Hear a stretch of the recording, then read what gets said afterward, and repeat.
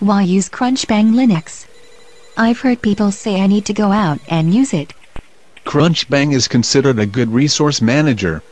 Crunchbang uses a Debian operating system, but without the ultra-complicated installer. The Debian installer is famous for requiring an advanced level of Linux knowledge to even get the OS installed. Crunchbang can even be installed on Apple hardware. That's a pro.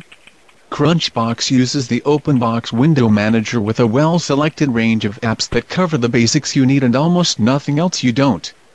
Crunchbang has a lot of standard software like VLC Player, XCHAT, AbiWord in place of LibreOffice. You can get LibreOffice by entering the CB welcome command in Java and other tools. So Crunchbang is usable right out of the box. Crunchbang doesn't have a full Office suite, just a one-word processor.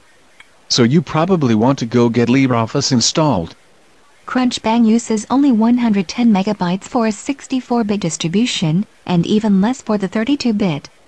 Using so little resources is a benefit. Crunchbang uses little power, since it doesn't draw much from the processors. It uses OpenBox as a resource manager.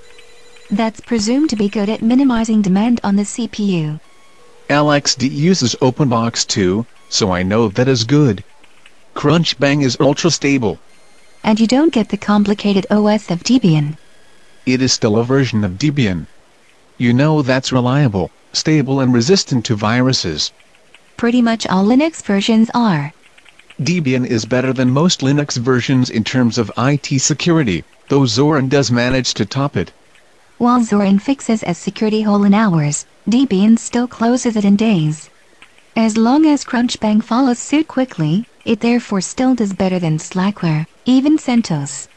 If you can handle Crunchbang, it has many of the strengths of Debian without some of the annoyances.